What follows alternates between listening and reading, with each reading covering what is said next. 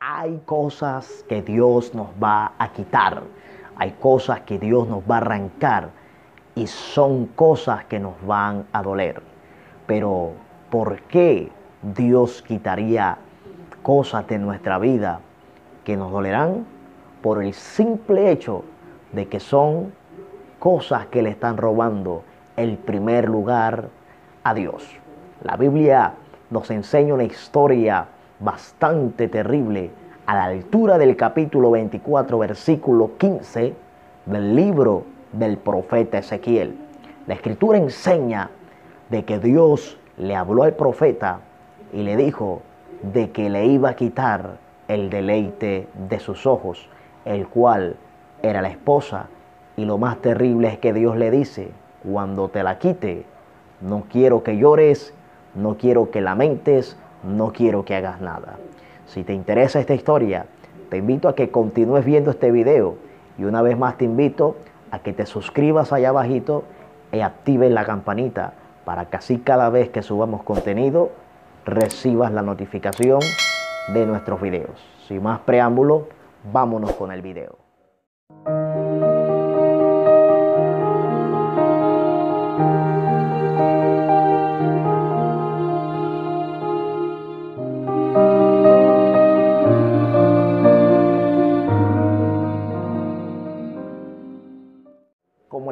Contando, mis hermanos, eh, la Biblia nos cuenta una historia bastante terrible. Y en el capítulo 24 del libro de Ezequiel, en el versículo 15 habla acerca de la muerte de la esposa de Ezequiel. Pero ¿quién fue Ezequiel? Ezequiel era un profeta que estuvo en Babilonia en los tiempos de la cautividad por causa de Nabucodonosor. Y la escritura enseña de que este profeta, Dios se le manifestaba de una manera especial. Dios le mostraba visiones, Dios tenía una intimidad fuerte con el profeta Ezequiel. Es más, la Biblia habla acerca de cuando se le apareció por primera vez a Ezequiel junto al río Quebar que quedaba en Babilonia. Pero la escritura nos narra algo sorprendente a la altura del capítulo 24 y es que Dios le dice a Ezequiel que se va a llevar a su esposa.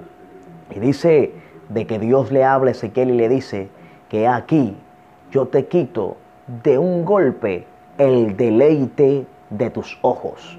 Y le dice, no quiero que llores, no quiero que endeches, no quiero que comas pan de lutado. Y Dios le empieza a dar una serie de requisitos que se cumplían en las costumbres bíblicas del Medio Oriente cuando una persona perdía a un familiar. En pocas palabras, Dios le dijo, no quiero que la llores, no quiero que guardes luto por tu esposa. Y dice la escritura de que Ezequiel, después de recibir esta palabra, salió al pueblo por la mañana y habló al pueblo la palabra de Dios. Pero dice el profeta que a la tarde murió su mujer. Y qué cosa tan sorprendente, porque la Biblia enseña de que Ezequiel hizo tal cual como Dios se lo pidió. Ezequiel no lloraba, Ezequiel no estaba de luto. Y normalmente cuando la esposa de alguien se muere, cuando la compañera de una persona se muere o el compañero, eh, siempre está la familia de esa persona. Y de pronto los familiares de la esposa de Ezequiel estaban llorando, lamentándose, pero las personas, la comunidad, veía que el esposo de aquella mujer, el profeta Ezequiel, el hombre de Dios, no lloraba la partida de su esposa. Esto llamó la atención de todo el sector en donde se encontraba Ezequiel. Y los que estaban rodeando a Ezequiel eran sus mismos hermanos judíos, los cuales habían venido, se cree, en la segunda deportación que hubo de Babilonia hacia, perdón, de Judá hacia Babilonia. Y dice la escritura de que el pueblo sorprendido por causa de lo que estaba haciendo Ezequiel, esto le llamó la atención. Y es que a cualquiera le llama la atención, porque la Biblia dice de que esta mujer era el deleite de los ojos de Ezequiel. Y el deleite de nuestros ojos no puede ser nuestra esposa. El deleite de nuestros ojos no puede ser el trabajo, no pueden ser los estudios, no puede ser las cosas que hay en esta tierra. El deleite de nuestros ojos tiene que ser únicamente nuestro Dios. Y dice la escritura de que como el pueblo sabía que él amaba a su esposa, dice de que vieron la actitud de Ezequiel, que no lloraba, no estaba de luto, no se veía sufriendo, se veía un hombre totalmente sereno. Y dice la escritura de que cuando el pueblo miró esta situación, se le acercó a Ezequiel y le dijo, Ezequiel, no nos enseñarás estas cosas.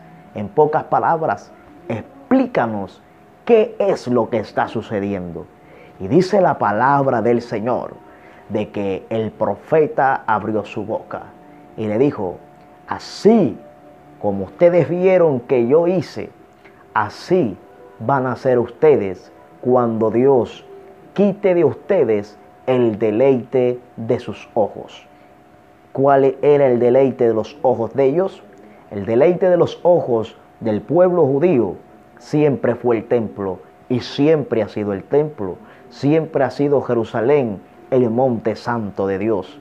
Y dice la escritura de que el profeta le dice de antemano de que así como se había llevado Dios a la esposa, así el pueblo iba a ser derrotado, destruido, y toda Jerusalén y aún el mismo templo, el deleite de los ojos de ellos, iba a ser destruido.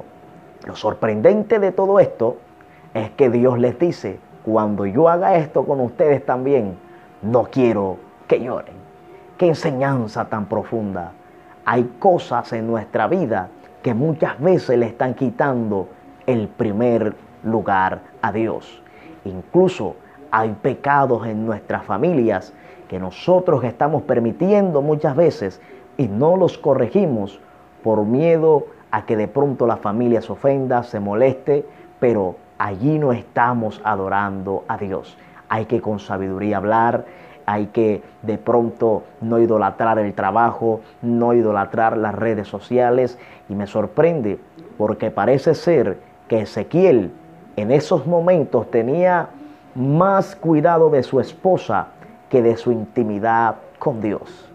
Y Dios tuvo que quitarle de golpe eso que le estaba quitando el primer lugar a Dios. Me sorprendió un testimonio, me contaba una joven en la iglesia, ella me decía de que compró un celular costoso y antes de comprar el celular, ella tenía una amplia comunión con Dios. Y una vez compró el celular, esa intimidad se perdió. Se convirtió en puro Facebook, WhatsApp, Twitter, todas las redes sociales. Y dice ella que le robaron el teléfono y ella no entendía, pero después consiguió otro teléfono celular y este se le dañó. ¿Por qué se le dañó el segundo? Porque volvió a cometer el mismo error, volvió a caer en las redes sociales y su intimidad con Dios quedó en nada. Volvió y compró un tercer celular y este tercer celular también se le dañó. Y ella me confesaba y me decía, hermano, cada vez que tengo un teléfono celular, descuido mi comunión con Dios, pierdo la búsqueda, me dejo de congregar y siento que Dios quita el deleite de mis ojos porque quiere que le dé el primer lugar a Él. Si te gustó esta enseñanza, hermano y amigo, te invito a que nos dejes tu comentario y le des like a este video. Te saluda tu hermano y amigo José de la Hoz. Hasta la próxima.